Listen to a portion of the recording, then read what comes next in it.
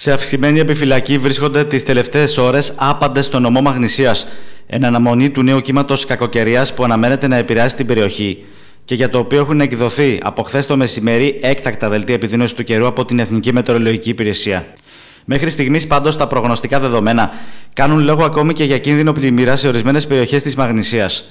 Φαίνεται πως ο μεγαλύτερος όγκος θα πέσει κυρίως στο κεντρικό και νότιο πύλιο. Προειδοποίηση για το έκτακτο δελτίο της Εθνικής Μετεωρολογικής Υπηρεσίας εξέδωσε και το κεντρικό λιμεναρχείο Βόλου. Από το μεσημέρι της Παρασκευής έως και τις μεσημεριανές ώρες του Σαββάτου θα επικρατήσουν έντονα καιρικά φαινόμενα στην κεντρική Ελλάδα και στις βόρειες Ποράδες με ενισχυμένους ανέμους εντάσεω 7 με 8 μποφόρ. Κατόπιν τούτου, συστήνεται στους ιδιοκτήτες και κυβερνήτες μικρών σκαφών να λάβουν όλα τα απαραίτητα μέτρα ασφαλούς πρόσδεσης και να μην αποπλέψουν κατά το χρόνο ισχύως του δελτίου. Ανακοίνωση πάντως εξέδωσε και ο Δήμος Βόλου στο πλαίσιο της ετοιμότητας του κρατικού μηχανισμού.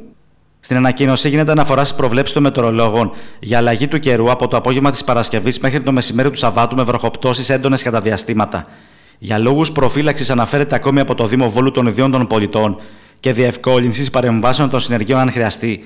Η πολιτική προστασία του Δήμου Βόλου συνιστά προσοχή και ή δυνατόν περιορισμό των μετακινήσεων. Η Περιφερειακή Ενότητα Μαγνησίας και Σποράδων, επειδή ε, φαίνεται ότι θα πληγεί περισσότερο, ε, έχουμε ήδη κάνει μία σύσκεψη χθες το βράδυ στη Λάρισα και αυτή τη στιγμή φεύγω ε, για σύσκεψη με τον κύριο Κικίλια για να δούμε το πώς θα το χειριστούμε, πώς θα συντονιστούμε Δήμη, Περιφέρεια, Πυροσβεστική και όλοι οι υπόλοιποι φορείς για να μπορέσουμε να αντιμετωπίσουμε οποιοδήποτε ύψος βροχής με το καλύτερο δυνατό αποτέλεσμα.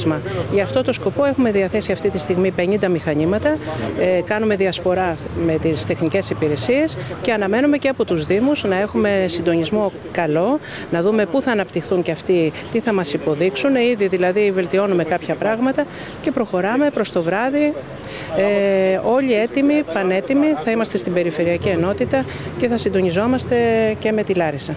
Δεν γνωρίζουμε τώρα το ύψος της βροχής ακριβώς ποιο θα είναι. Υπάρχουν διάφορα μοντέλα. Εμείς θα είμαστε έτοιμοι για το χειρότερο σενάριο.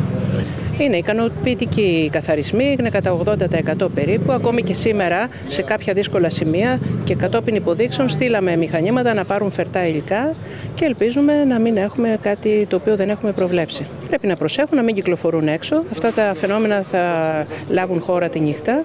Ε, να προσέχουν τις διαβάσεις Ιρλανδικές, να μην περνάνε από εκεί, να έχουν ασφαλίσει τα σπίτια τους και γενικά να ακούνε όλες τις συμβουλές που θα δίνουμε ως πολιτική προστασία του νομού. Είναι μια δύσκολη μέρα σήμερα το βράδυ και μετά, τουλάχιστον από ό,τι μας έχουν δώσει τα προγνωστικά.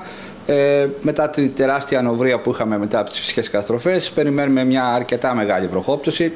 Ε, προσωπικά θεωρώ ότι εδώ στο Βόλο τουλάχιστον δεν θα μας έχει επηρεάσει τόσο πολύ. Ε, από ό,τι φαίνεται τουλάχιστον από τα δικά μας δεδομένα τους χάρτες είναι πιο βόρεια, πιο πάνω από εμάς. Ε, βέβαια θα έχουμε και εδώ μια αρκετά καλή βροχή.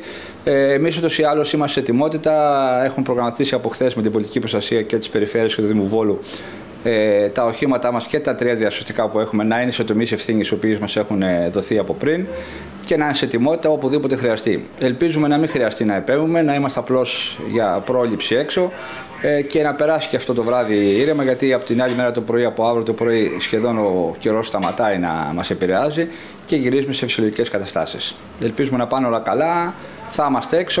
Μετά τι 3 το μεσημέρι, πάντως, στο Συντονιστικό Κέντρο Επιχειρήσεων στη Λάρισα βρέθηκε ο Υπουργός Κλιματικής Κρίσης και Πολιτικής Προστασίας κ.